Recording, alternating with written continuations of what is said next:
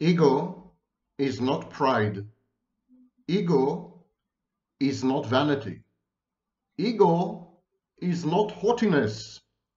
Ego is not arrogance. Do not listen to self-styled online gurus who have no idea what they're talking about. Ego is a construct postulated by Sigmund Freud as part of his model of the psyche. The main role of the ego is to interface with reality and prevent us from doing crazy id-driven things. but the ego has many other functions, among them impulse control, regulation, and many others. Today's compilation, starting with this new video, will review, I'm going to review all the functions of the ego. And I'm going to start with the most important function by far, reality testing. My name is Sam Vaknin. I'm the author of Malignant Self-Love, Narcissism Revisited. I'm a former visiting professor of psychology, currently on the faculty of CIAPS, Commonwealth for International Advanced Professional Studies, Cambridge, United Kingdom, Toronto, Canada, and what else? Lagos, Nigeria. okay, egos and egoids. We are going to discuss today the minefield of the ego. And it is a minefield for a variety of reasons that I'm going to review.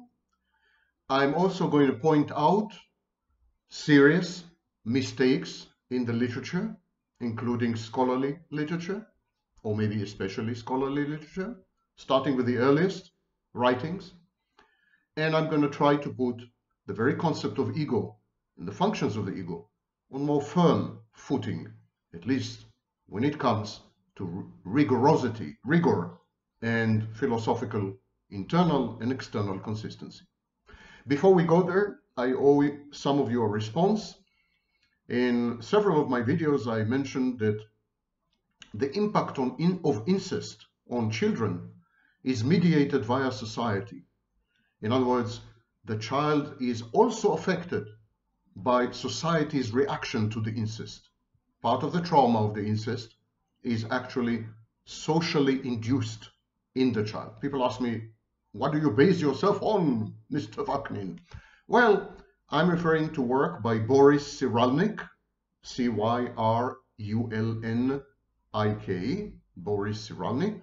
He did some work on resilience in children, and he based a lot of his writing on er much earlier work by Donald Winnicott, pediatrician turned psychoanalyst.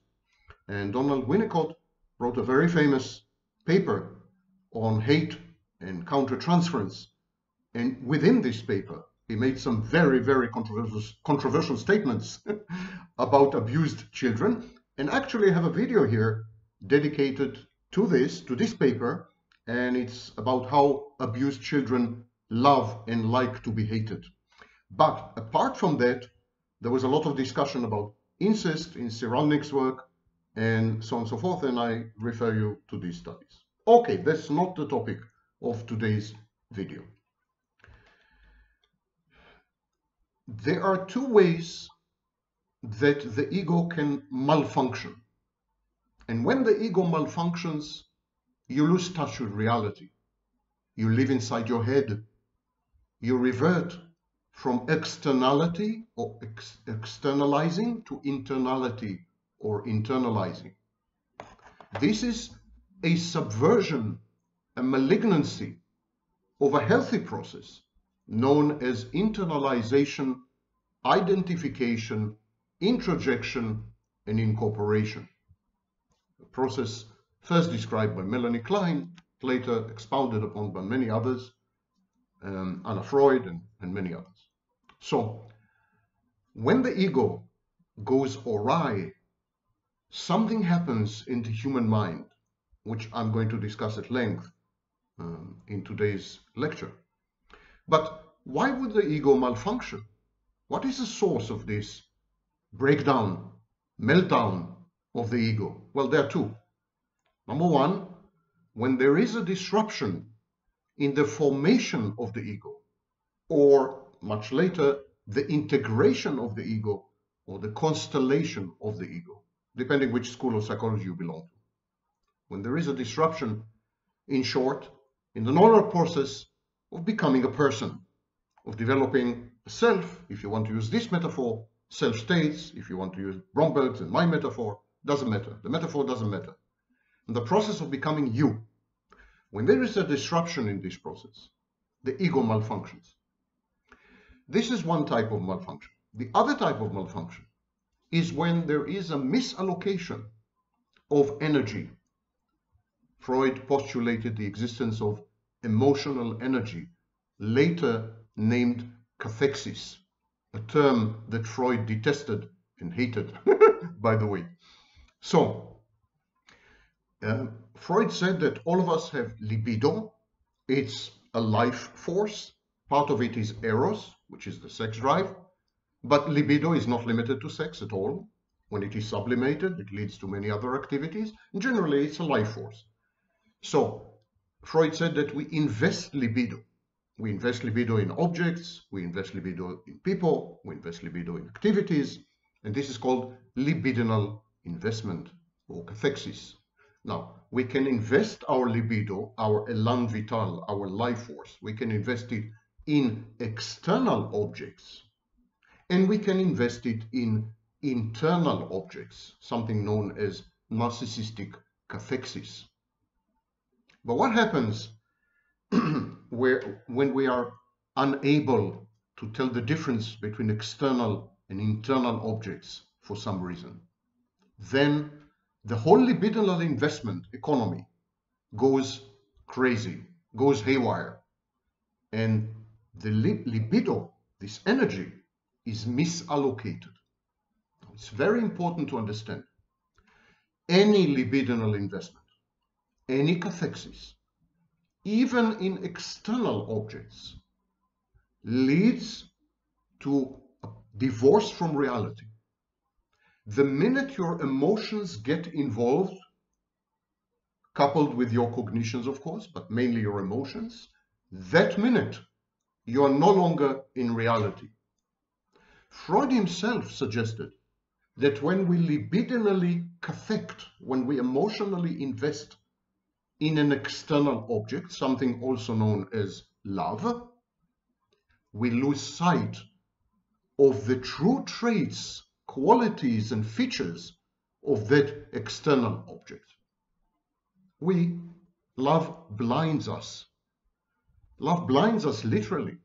We no longer see the object, the external object, as she is. We see only positive uh, elements. We idealize the object.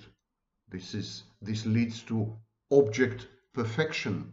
And of course, when you love someone and they become totally idealized, then you would have only positive affects.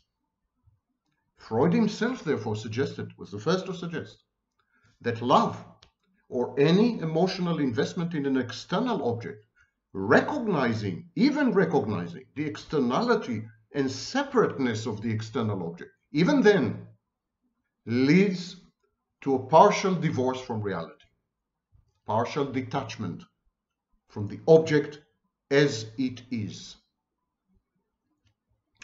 Let alone when the emotional investment is directed inwards, not at external objects, but at internal objects, something known in, uh, for example, as megalomania, the precursor to narcissism, paranoia, schizophrenia, much later in the 70s, borderline personality disorder, narcissistic personality disorder. In all these cases, the emotional investment is directed inwards, not at an external object, but at internal objects, different types of uh, internal objects in each case.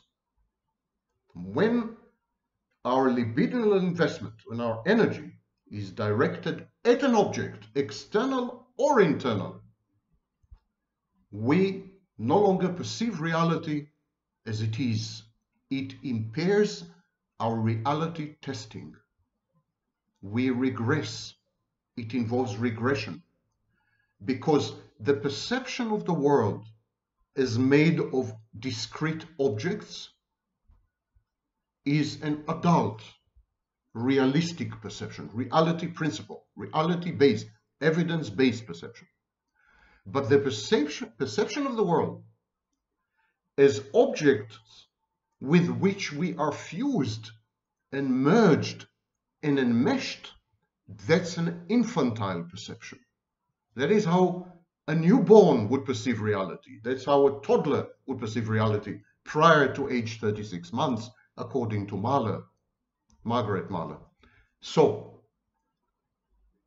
whenever we direct our emotional investment, our libido, whenever we cathect an object, we idealize that object, we become, in effect, one with that object. This is love.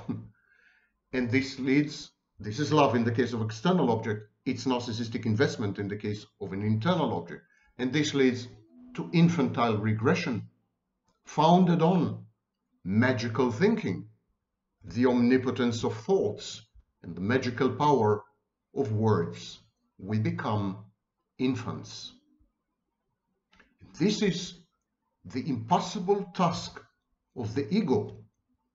If I had to summarize the ego's functions in functions, all of them, in one phrase, it is to fight off regression, to avoid regression. Because regression is very easy. It's very soothing.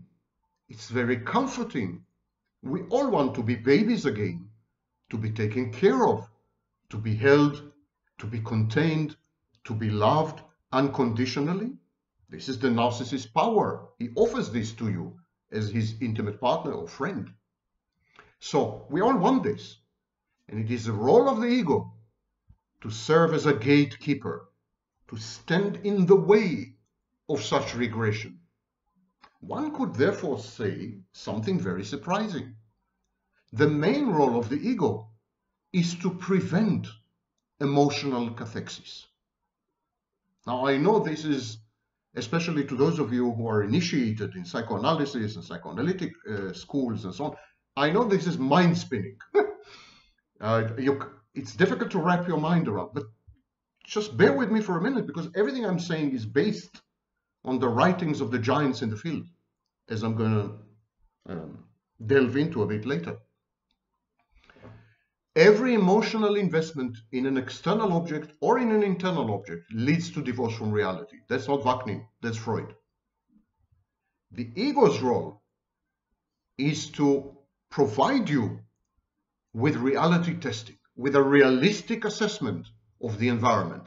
But how can the ego do this if you're emotionally invested in the environment? Your emotions distort your thinking. Your emotions affect your judgment your emotions lead you astray. Your emotions falsify or reframe at the very least reality, and your emotions lead ultimately to fantasy.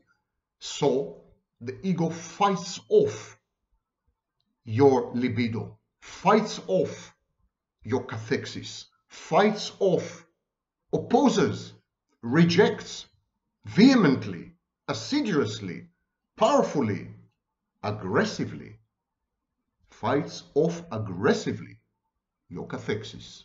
You can therefore say that the main function of the ego is to decathect. Not cathexis, but decathexis. The ego wants you to withdraw from the environment, to stand back, to put some distance between you and the reality that you have to appraise and assess and evaluate and assimilate. You need to see reality as it is, objectively, without prejudice, without bias, without idealization, without devaluation, without any emotional reaction. Ego forces you to decathect. This creates a God Almighty internal dissonance and clash because you want to cathect, you want to fall in love, for example, or you want to think that you're the greatest of them all, brilliant and perfect, if you're a narcissist. You want to cathect, you want to invest your emotions somewhere. The ego stands in the way. So the ego, to some extent, could become your enemy. If you're inclined to cathect and the ego prevents you from doing this, the ego is a source of frustration. And narcissists, for example, they don't tolerate frustration. So this is another reason that the narcissist does not have an ego. Whatever ego elements or ego nuclei, to use the language of Guntrip and Fairbairn and others, whatever ego nuclei, nuclei exist, the narcissist represses them. He doesn't want them to manifest. He doesn't want an ego. Narcissist doesn't want reality. An ego is founded on the reality principle. The ego is another part, and it's a part of the ego, the superego, which the narcissist regards as even more of an enemy. Narcissist, narcissism is a rejection of the ego and of the superego. It's a defense against the ego and against the superego. And luckily for the narcissist, he doesn't have a fully formed, full-fledged, fully functioning ego. So the battle, the dissonance, is not as devastating as it could have been, which would have led to psychosis. Because the narcissist's ego is fragile and fragmented and weak, the internal conflict or dissonance within the narcissist is moderate, mild, manageable. Had the narcissist's ego been very strong, fully formed, fully functional, the internal battle between the narcissist megalomania, the narcissist narcissistic cathexis in himself and the ego this battle would have led to psychosis. Could be an excellent explanation of psychosis. The narcissist invests emotional energy in himself. He idealizes himself. This is the essence of grandiosity. He doesn't want to see reality. He doesn't want to know the truth about himself. He doesn't want input from the environment, which is objective and and, and calibrating. He doesn't want any of this, the narcissist.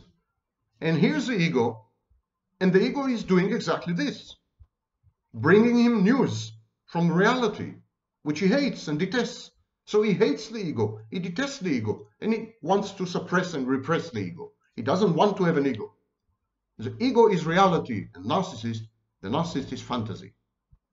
And when the battle is extreme, the narcissist the person, not the narcissist. When the battle is extreme between ego and narcissistic libidinal investment, then we have psychosis because the rejection is total, something known as amentia. I'll discuss it a bit later.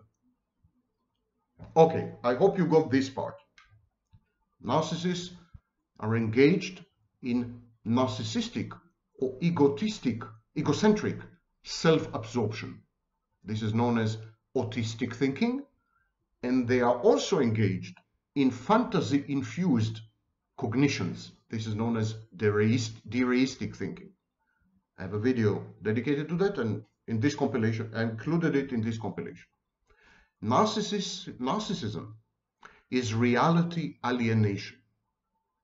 It's an estrangement from reality.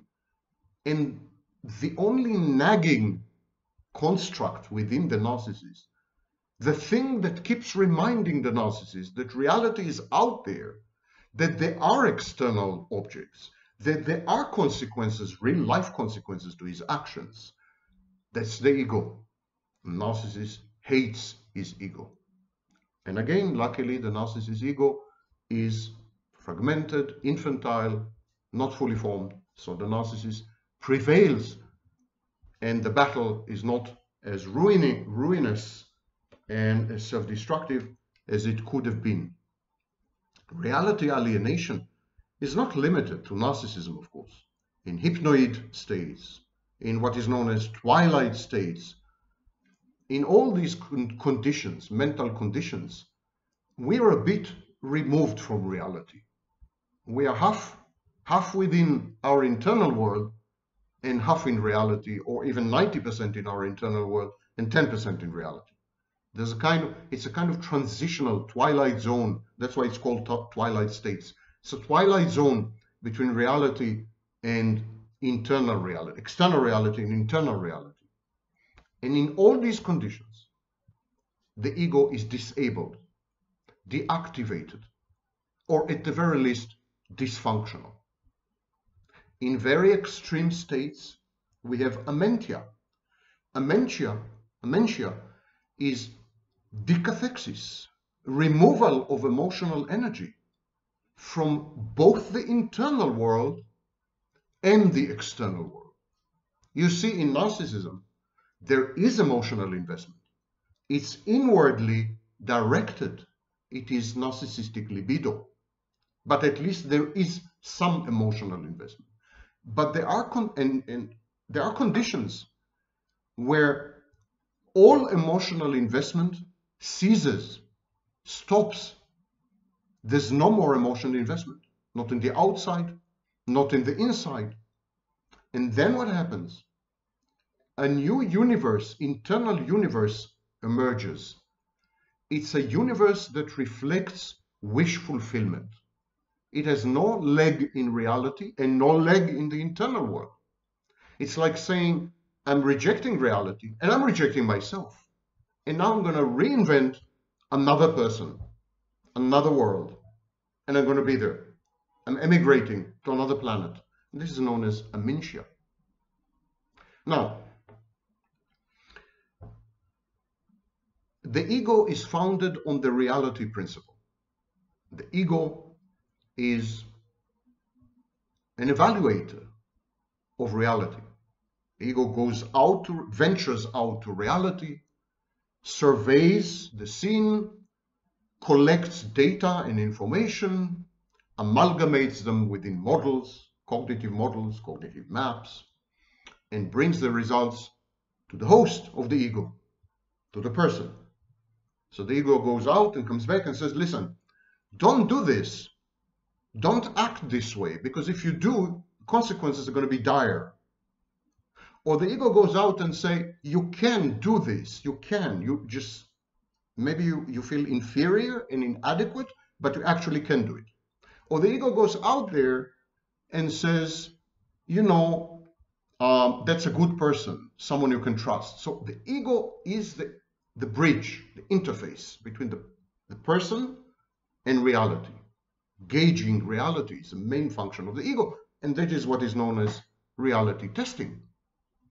But the reality principle upon which the ego is founded is predicated, premised on postponement of pleasure. Freud said that the reality principle is the antithesis of the pleasure principle. Like the pleasure principle is for kids, for dysregulated people, for crazies, for, you know, the pleasure principle is instinctive, reflexive, instinctual, I'm sorry, reflexive, it's a drive, it's a series of drives, and it's inexorable and irresistible, the pleasure principle, animalistic in a way. Here comes the ego, which is a mature development, the, which leads us to adulthood. And the ego, the ego teaches us to postpone gratification, to avoid pleasure. This creates, of course, tension between the wish to please oneself and the realization that one would better not. So, um, the conflict between the reality principle and the pleasure principle, which takes place within the ego, creates anxiety, creates tension. But here is something that most of the scholars, all the scholars actually, have missed. Both the reality principle and the pleasure principle are founded on primary narcissism, on the initial grandiosity of the toddler. Do you remember when the toddler, when the infant separates from mommy? The separation requires grandiosity The infant says, I can take on the world. I'm godlike. Therefore, I can abandon mummy for a few minutes, of course, and explore the universe or my environment. This requires a lot of grandiosity. And together with introversion, which is another process, this leads to what Freud called primary narcissism. Infant is a narcissist. The infant has doesn't have an accurate perception of reality. The infant underestimates the risks and overestimates its own powers, which is an excellent description of narcissism. so the infant is a narcissist. And Freud's mistake, if I'm allowed to criticize the master, is he didn't realize that the reality principle is highly grandiose. He thought that only the pleasure principle is grandiose. Freud said that narcissistic investment, narcissistic libidinal investment, leads to the gratification of the pleasure principle at the expense of the reality principle. And that's where he was completely wrong. The transition from pleasure principle as an organizing, ruling principle to the reality principle as an organizing, ruling principle is a transition between less developed grandiosity and more developed grandiosity. I can prove it to you easily. The reality principle involves grandiosity because the reality principle says if you delay, if you postpone gratification now, the outcomes in the future would be much better. so there is an assumption underlying the reality principle that the, that the ego is able to predict future outcomes. It's omniscience. The ego pretends to be omniscient. The ego says, I can tell you what's going to happen in the future. I know the future perfectly. I can predict the future without a fault. I'm never wrong about the future. This omniscience of future pleasure. Ego says, I want to strike a bargain with you. Let's make a deal. You will postpone your immediate reflexive, instinctual, overwhelming, irresistible gratification. You will postpone your pleasure. And I give you my word, says the ego, I guarantee that you will have much more pleasure in the future. It's a famous marshmallow test. Much, if you don't eat the single marshmallow now, in half an hour, you will get two marshmallows. But of course, no one can predict the future. Anyone who claims to know the future and anything who claim, which claims to know the future are grandiose. These are grandiose, counterfactual, fantasy-based claims. The ego is grandiose in the sense that it pretends to know best. It tells the individual let me control you. Let me micromanage you. Let me inform you about reality. Let me predict future outcomes because I am perfect. I'm infallible. You can rely on me 100%. Forget the id. The id is an idiot. I am much more than the id. I'm superior to the id. this is a dialogue of a narcissist. This is a monologue of a narcissist. So Freud was wrong. Both the reality principle and the pleasure principle are grandiose manifestations. When the ego goes awry, when it malfunctions, it produces outcomes which are manifestly pathological. For example, catastrophizing in depression. The ego of a depressed person keeps producing predictions about the future which are catastrophic and horrible. So you become depressed because your ego keeps generating um, prophecies about the future which terrify you. Which render you hopeless and helpless. And this is an example of the ego's grandiosity when it's coupled with dysfunction. Catastrophizing is a form of grandiosity because no one knows the future, and yet you pretend to know the future. Reality testing is the capacity to judge whether your cognitions, ideas, and emotions, which are forms of cognitions, whether they conform to reality. It's the ability to distinguish what's going on inside your mind from your perceptions, from your sensor, sensory inputs. It's the ability to tell apart fantasy from reality. It's the capacity to determine whether a mental image, a voice, a sensation arise from within yourself or somehow exist in the external world. This is, of course, where psychotics fail. They confuse their internal images, their internal voices, with the external world, something known as hyper-reflexivity. Freud, who else coined the phrase reality testing? In, there's a debate, but 1911 probably. And I will not go into all the history of, because there were four transmutations or four transformations of reality testing in Freud's uh, work. But Freud described reality testing as an emergent property, the outcome of personal growth and development, the ability to dedicate attention, judgment, and memory to external phenomena. Freud did not regard reality testing is an inborn, innate trait or dimension or quality. The, new, the newborn does not have reality testing. That's why the newborn can't tell apart himself and mummy. That's why the symbiotic phase. We no longer use the, the, the phrase symbiotic phase. I don't know why, by the way. I think it's very accurate and very powerful.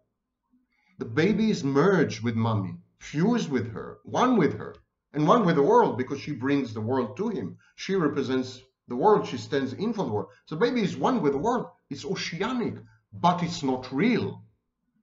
So baby doesn't have reality testing.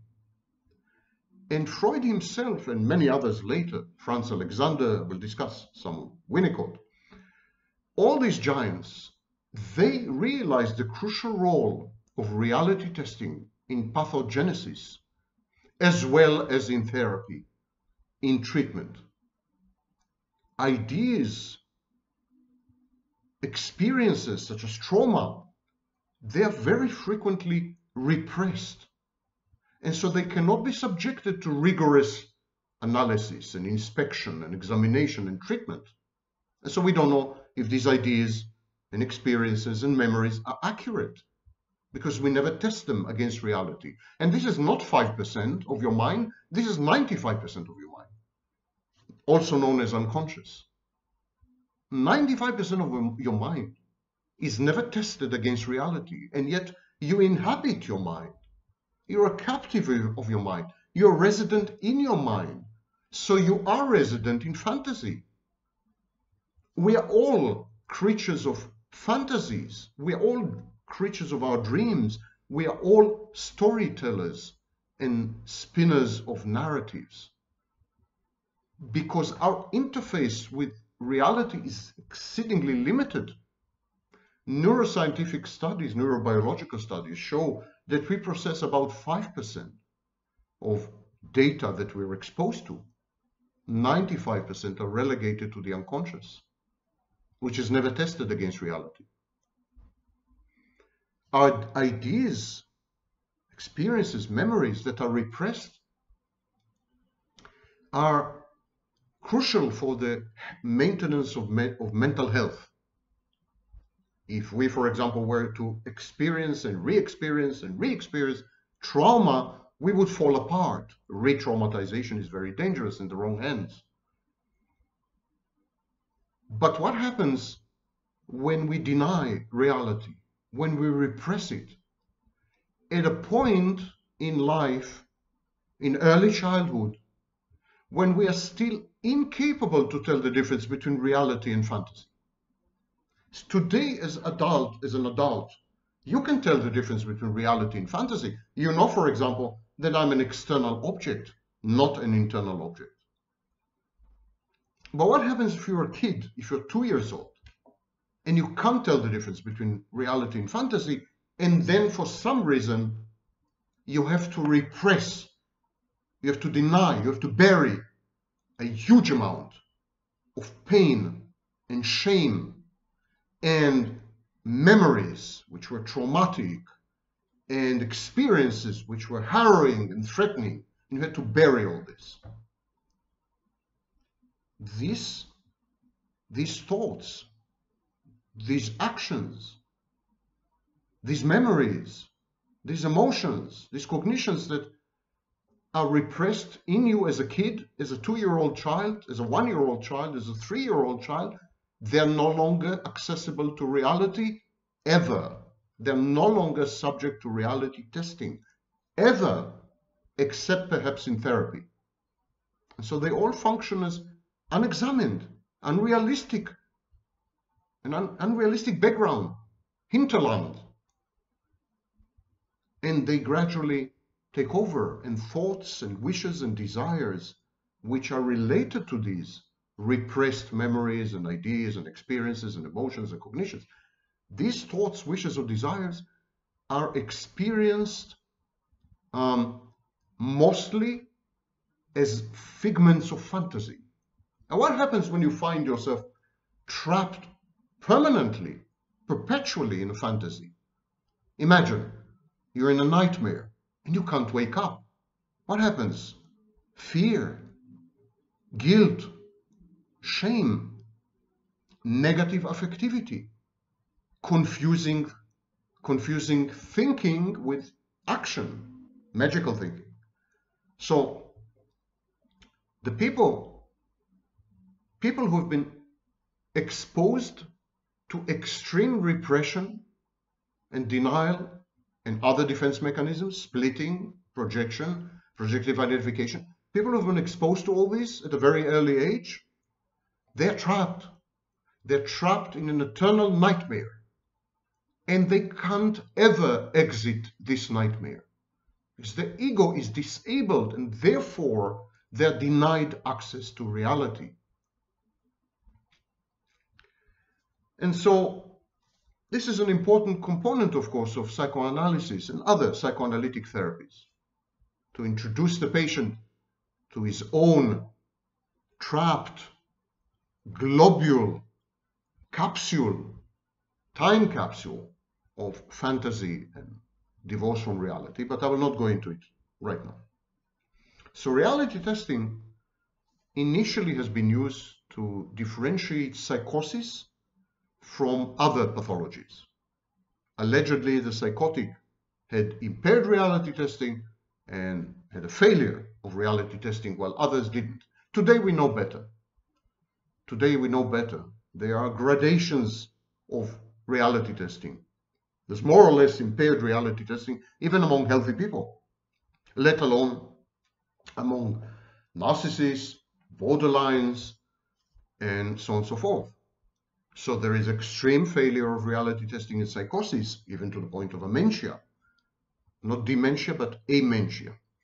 And there, there's a variety of partial failures or impairments of reality testing in other mental health conditions. Um, of course, there is an underlying unspoken assumption here that reality exists. And there's another assumption that we can perceive it. And both assumptions are highly suspect. Does reality exist? Is there such a thing as objective reality that is not mediated via the senses, that is not fitted into cerebral models in the brain? Is there such a thing?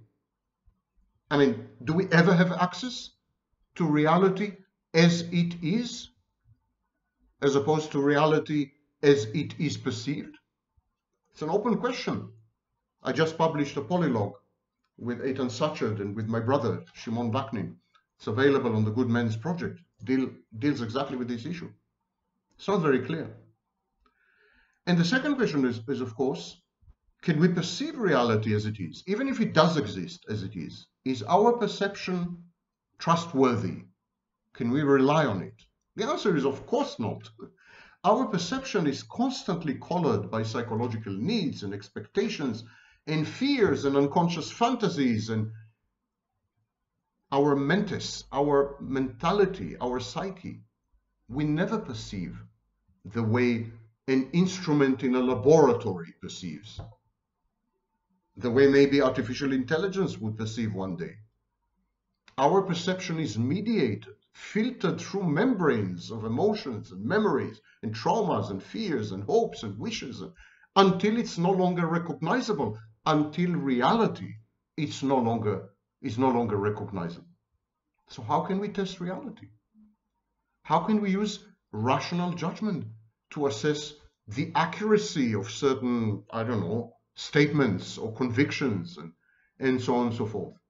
How can we be sure that we are not filtering out, avoiding upsetting information, counter information that is countervailing? What about confirmation bias? When we distort reality, what about cognitive distortions such as grandiosity that we are all, all subjected to to some extent? So reality testing can be suspended, can be distorted. That's the work of Grossman, Grossman in 1996. We do exercise reality testing, of course.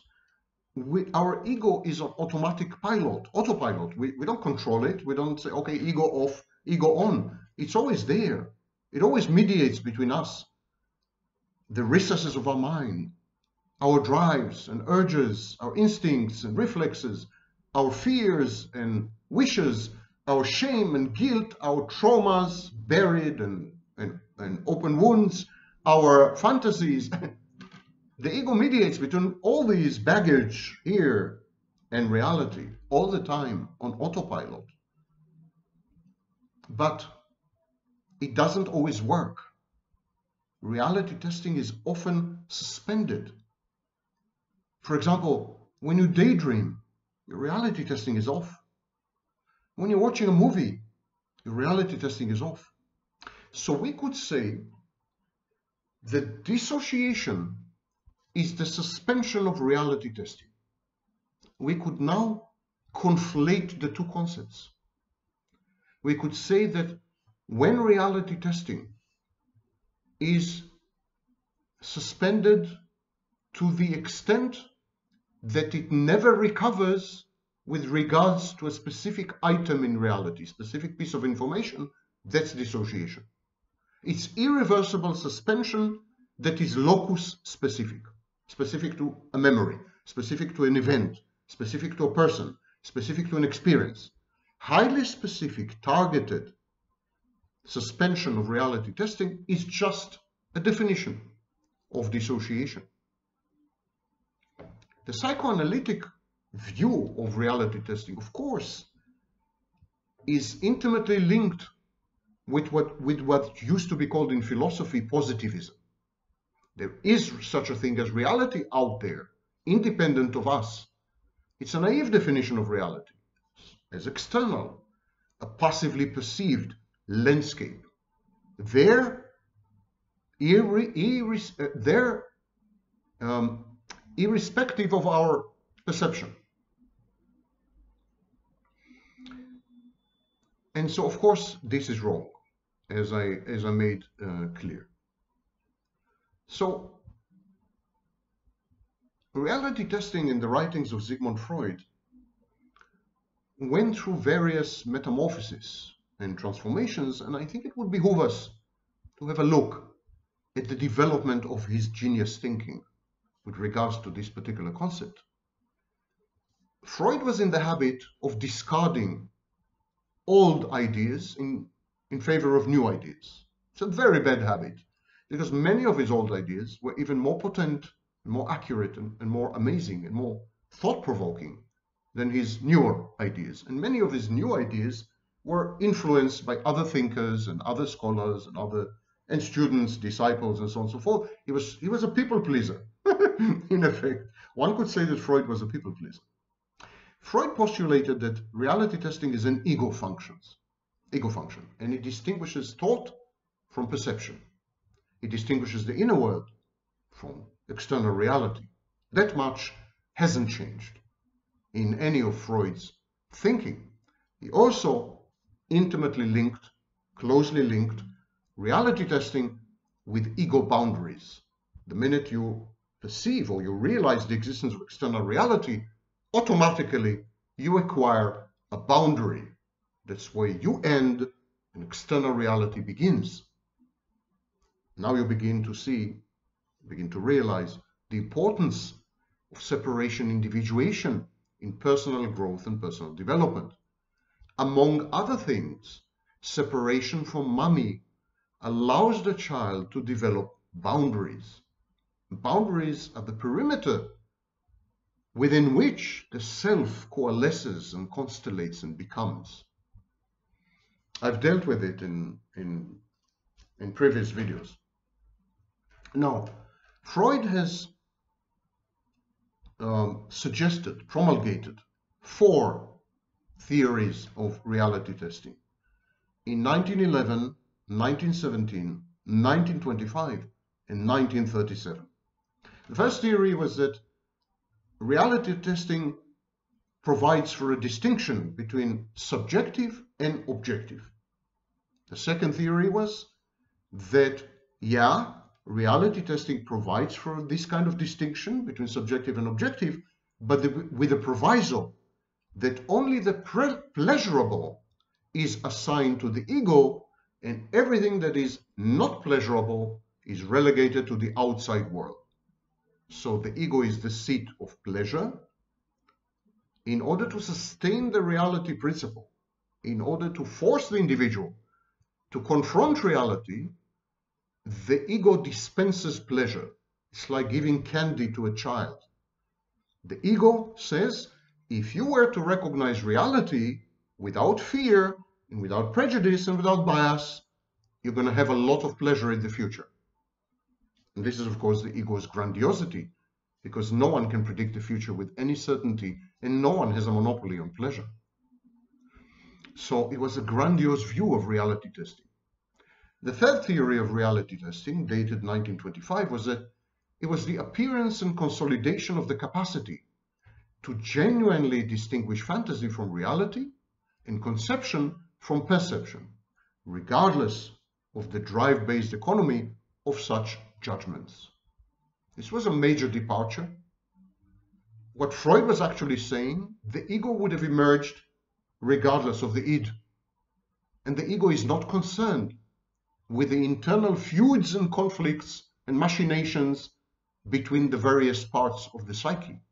No, ego is there to guide you bravely and accurately into a properly assessed environment with objective data and the right guidelines. Ego is evidence-based. It. It's a trusted friend and consigliere so to speak. That was 1925. 12 years later, 1937, Freud came up with the, with the last of his reality testing theories. He said it's the development of a finer capacity to scan how one's in inner biases, internal biases, have an impact upon the perceptions and the relationships with people in one's life. So in 1937, Freud was among the prophets, the ancestors of object relations theories. Now that wasn't Freud actually, it was Adler, but okay. Freud and Adler and others, they were beginning to talk about the psyche, one's psychology as relational, as having to do with other people. So the main role of the of reality testing would be to identify biases and distortions and prejudices, realize that they are internal, that they have no bearing on external reality, and then interact with other people in a way which would be reality and evidence based, in a way which would not reflect internal biases, prejudices, emotions, fears, wishes, and so on. So this was reality testing. It was people oriented, object oriented. The impairment of reality testing, as I said, has many gradations. Take dreams, for example. In dreams, of course, reality test testing is suspended. But in psychosis, it is lost. In what Freud called perversions, no longer accepted in psychology, but at the time, in what he called perversions, the ego has a contradictory attitude towards reality. One part of the ego accepts reality, and one part of the ego denies that reality is real. This is especially manifest in fetishism. I will discuss it a bit later. And then Freud came up with transitional phenomena where both reality and non-reality coexist. And the issue of reality testing doesn't arise. One could even say that transitional objects are kind of transitional phenomena where the imaginary friend is both real, it's reified by an object, a real object like a teddy bear or a blanket. So the imaginary friend is both real and not real. And this is the power of the false self in the narcissist and borderline personality structure. The false self is perceived as out there.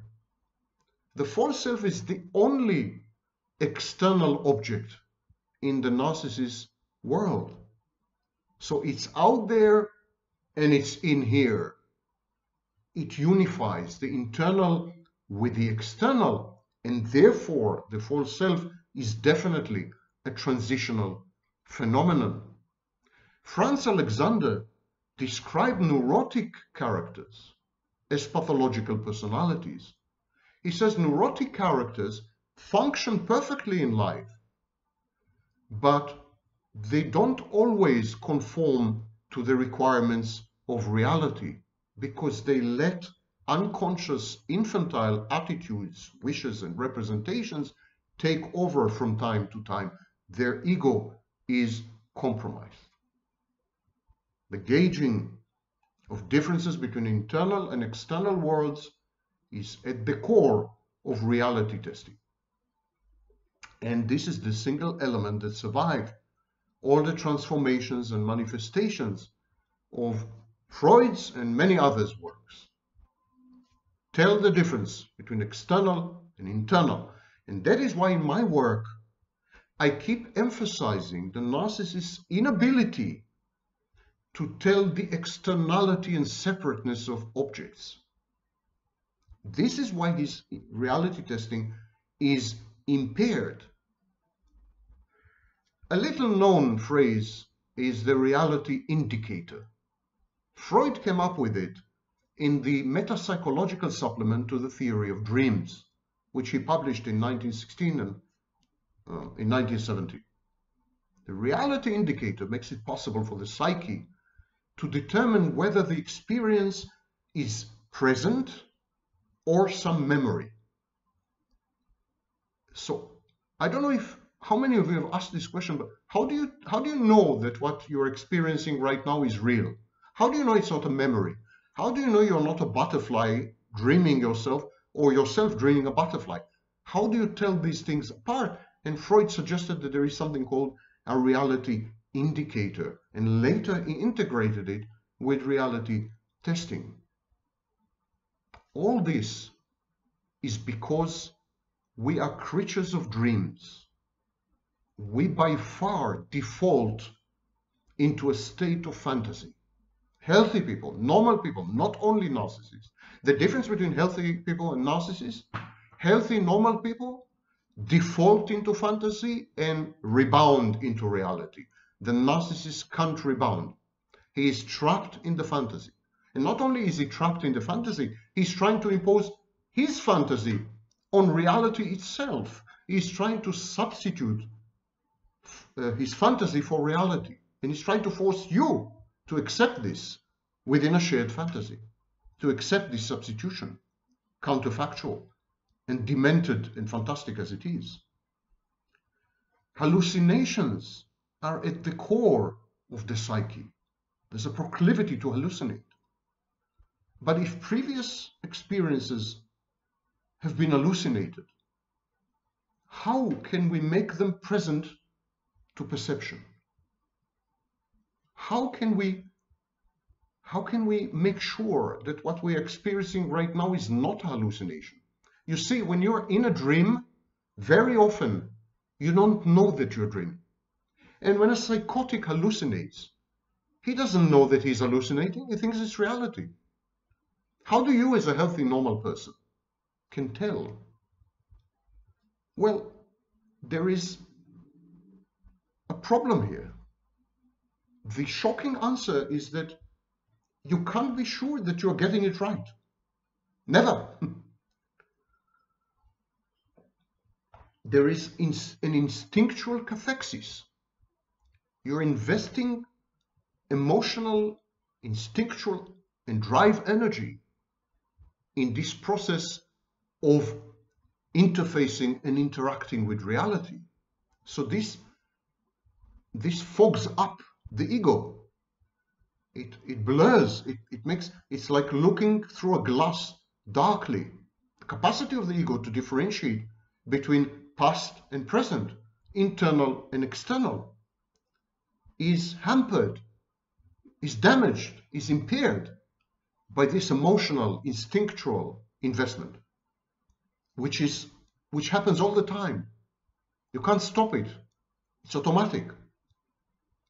And the intensity of your emotional investment, of your cathexis, the intensity of your instinctual investment may prevent the ego from differentiating between perception and hallucination. We could therefore say that psychosis is cathexis out of control. And we can absolutely safely say this about the narcissist the narcissism is cathexis out of control. And of course we can say this about borderline, because borderline is nothing but emotional dysregulation. All these manifestations and forms of cathexis gone awry, gone crazy. Therefore, effectively suspending or disabling the ego's ability to tell apart hallucination and fantasy from reality. Successors of Freud, Winnicott for example, they emphasized another process that contributes to this distinction between reality and fantasy and external and internal. And this process that has been emphasized by Winnicott and others is that external reality resists fantasized destruction. Well, that sounds very childish. Winnicott says, if you want to know if something is reality or fantasy, try, try to destroy it. If you can destroy it, it's reality. Uh, if you cannot destroy it, sorry, it's reality. If you can destroy it, it's fantasy. Destroy it in the mental sense, in the psychological sense, not with a hammer and not with explosives, but mentally if you can undo it, if you can reverse it, if you can deny it, if you can repress it, if you can eliminate it, it's fantasy. If you can't do any of these things, if your defenses don't work, it's reality. And Winnicott unwittingly touched upon something very important. Reality is about decompensation. Our defenses work against reality defenses, our psychological defense mechanisms. The main role of psychological defense mechanisms is to falsify reality, reframe reality, reject reality, repress reality, destroy reality, but they never succeed. So this leads to decompensation. Our psychological defense mechanisms break apart when they are pitted against reality, because reality is stronger and objective and out there and untouchable. So our defenses crumble. They, they fall apart, they disintegrate. A process known as decompensation. And that's why I said in, in an interview, the interview with Michel Paradise, I said, To accept reality is to accept decompensation. To accept reality is to accept pain, loss, shame. Reality is this. Reality is our inability to defend against it. It's very hurtful and it is comprised of losses, object losses and real losses. And there's nothing we can do about it. That's Winnicott's insight. Nothing we can do about it. Reality, externality can be discovered by its capacities to resist the subject's destructiveness. This confers upon the analysis of negative transference a preponderant role in treatment, but I will not go into it right now. What about sex? Isn't sex or sexualization the bridge between the internal and the external? Isn't this the secret power of sex? Sexual, sexualizing cognitions, sexualizing thought, is a process that we observe in many mental health cognition, mental illness, mental illnesses, mental health conditions.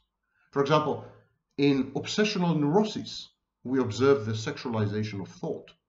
These people derive sexual pleasure from the thinking process, from the content of the thought.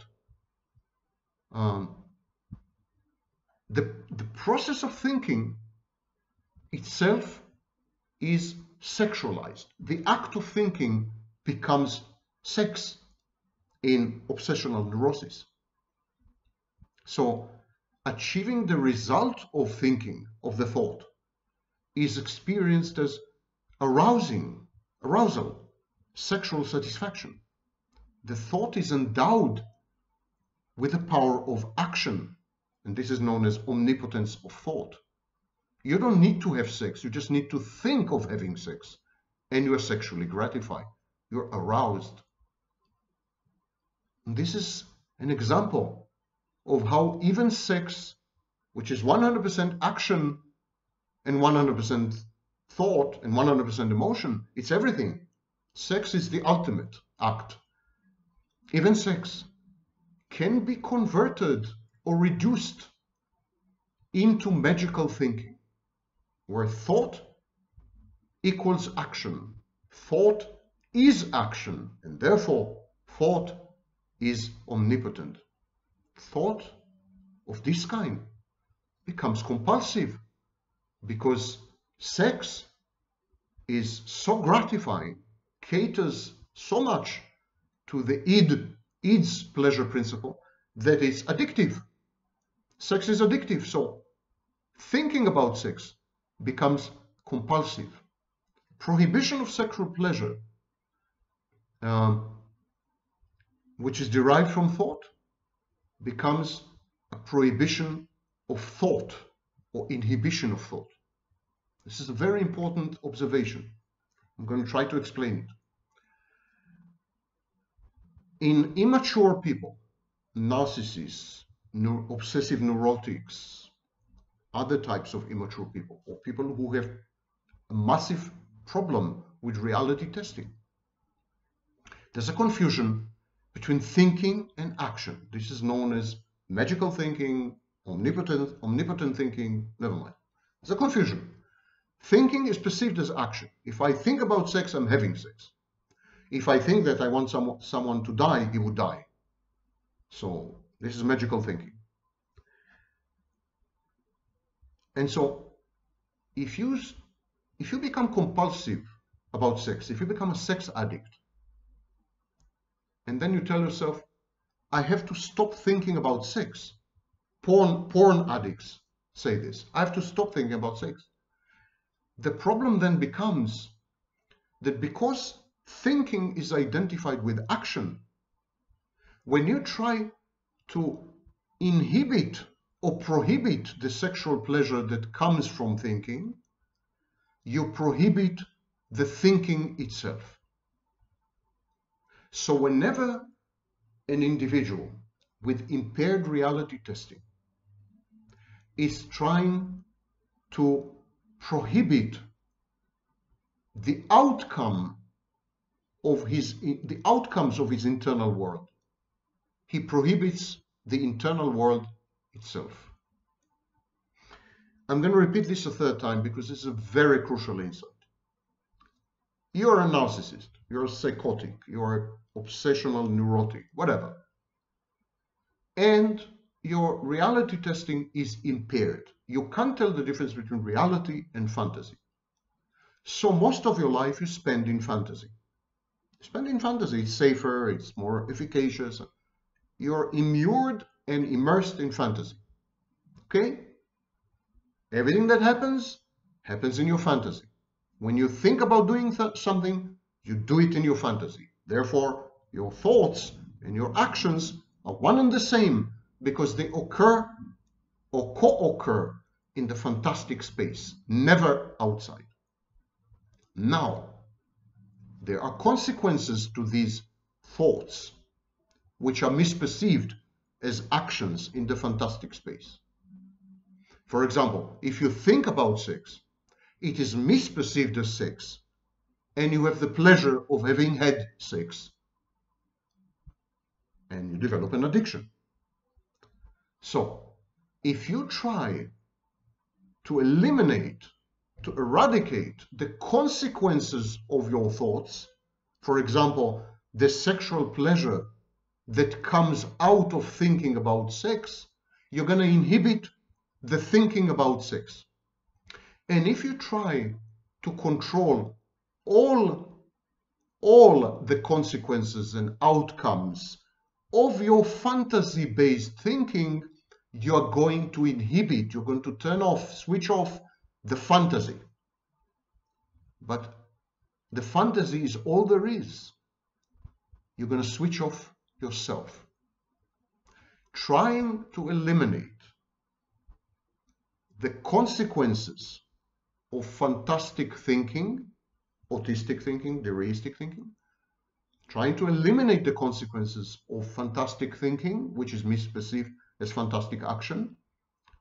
This leads to the destruction of the fantasy, and because there's only fantasy, there's no reality, it leads to psychosis. Which kind of psychosis? Amentia, a mental psychosis. Okay. The full dynamic complexity of splitting of the ego between reality and non-reality in these pathological conditions, we can see this in action in fetishism. Unlike hallucinations, fetishes are not created by denial of reality, but by subtle avoidance of reality or reducing reality into a part object you reduce reality to, to, to feet, to shoes, to breasts. You reduce reality, or you in this way you, you avoid the totality of reality somehow. So uh, there's a symbolic transfer of your cathexis, your emotional investment, into some part, part of the body, an object, whatever the case may be. There are some fetishes with shoes. So fetishes are somewhere between hallucination and reality, perception, hallucination and perception. Fetishes are kind of bridge between hallucination and perception, and they are also the dividing line between psychosis and what Freud called perversion. The splitting of the ego signals the ego's failure to build constructively on reality testing by interpolating between the instinctual demand and its gratification, the consequences of the envisaged course of action, whether the repression of the demand or the postponement of satisfaction, they, they all fail. So, in thought, in cognition, in, in, in thinking, the consideration of reality for which real satisfaction is supposed to be gained has a decisive role to play. So we are beginning to see a substitute for the reality principle. Sometimes it is not the reality principle that is at play, but the consideration of reality. And this is not only in mentally ill people. This is known as thought identity. It's not only in mentally ill people. The current schools of psychology, even non-psychoanalytic schools, non-psychodynamic schools, they accept that we don't have direct disintermediated access to reality. What we have instead is thinking that reflects reality more or less accurately, more or less objectively. So this is thought identity. Thought identity. Reality testing regulates actions under the secondary process, but subject to a representation of reality in the mind, a model, if you wish. So we acquire a psychic apparatus and and we kind of integrate it with the reality and pleasure principle. The pleasure principle and the reality principle continue to operate, especially early on in psychic development. And the reality principle pushes us to renounce instinctual gratifications, to postpone them, to tolerate the resulting instinctual tensions and anxieties.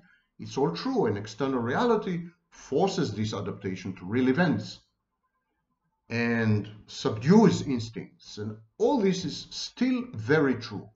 Sexual instincts um, operate initially autoerotically without an extraneous object, and then they're removed from the direct influence of the external world and they're integrated with the pleasure and the reality principle. And all this, everything I've said until now, is still is still okay, is still valid, is still true. But um, there is a superimposed layer. Not only perception, not only fantasy, not only hallucination, not only impairment, not only suspension, not only these things. Superimposed on all these things is thought, thought thinking, our thinking mind. And perhaps this is where narcissists fail the most because their cognition is distorted. This control mechanism is not functioning. They don't have proper cognition.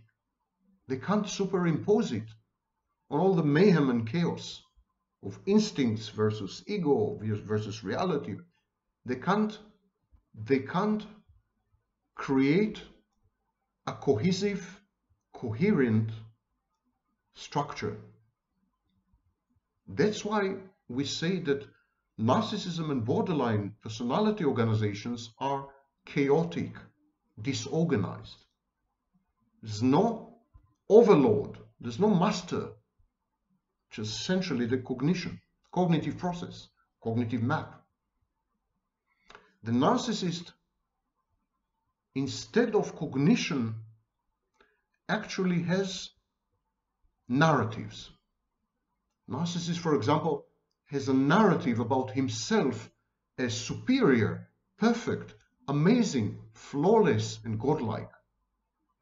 And he doesn't bother to cross-check this narrative with reality via the ego. He adheres to the narrative. And this narrative is not necessarily fantastic as much as counterfactual. It's a theory of the world which is wrong.